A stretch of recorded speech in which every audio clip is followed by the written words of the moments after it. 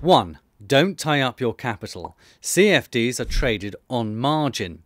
You only put up a percentage of the trade as collateral based on requirements set by your CFD provider. Therefore, you can trade a position on a stock, other asset classes can be traded via CFDs too, without actually owning it as an asset. You are required to maintain a certain amount of margin in your account, as defined by your CFD provider. But it's a fraction of the cost of buying stocks outright you can potentially use your capital elsewhere. 2. Are you sitting on idle capital? If you own a portfolio of stocks or bonds, you can use that stock portfolio as collateral for trading CFDs. Depending on your provider, your current portfolio could be used as collateral. 3. One account global access. CFDs can be traded on a variety of assets and instruments around the world from one account. This means you can set up a diversified portfolio covering many different markets and have access to much wider trading options. CFDs allow you to explore many alternative portfolio or strategy options. 4. Working 9 to 5 and beyond. As many underlying assets, i.e., what a CFD follows, are traded around the clock, it means your money can work harder outside of normal hours.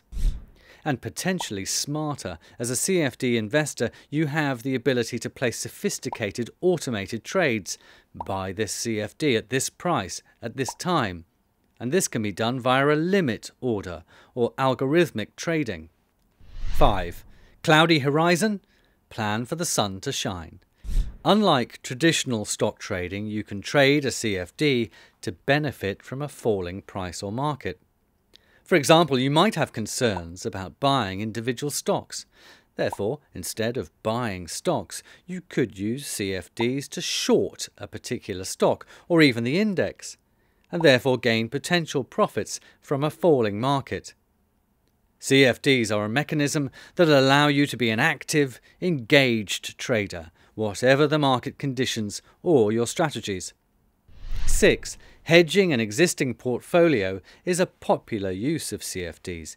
If you don't wish to liquidate your physical stock portfolio for some reason, you can quickly and efficiently secure it by selling the appropriate CFDs for a short or long period until you feel more confident about the market again.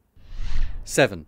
No ownership, but reap the dividends. If you believe a stock is going to increase in value and you buy a CFD based on this strategy, it's called going long.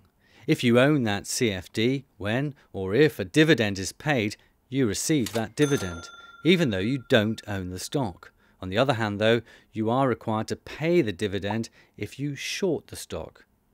8. At a time that suits you.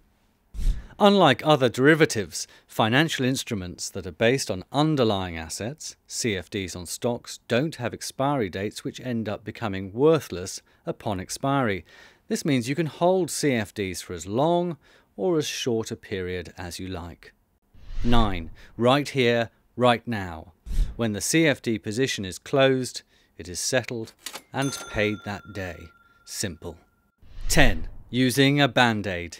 CFDs allow you to exercise potential damage limitation. On stock trading, you cannot place a guaranteed stop. However, most CFD providers will allow you to place a guaranteed stop when CFD trading. A guaranteed stop will close your position at your specified guaranteed stop price. So, intelligent risk management means reducing the potential shock factor.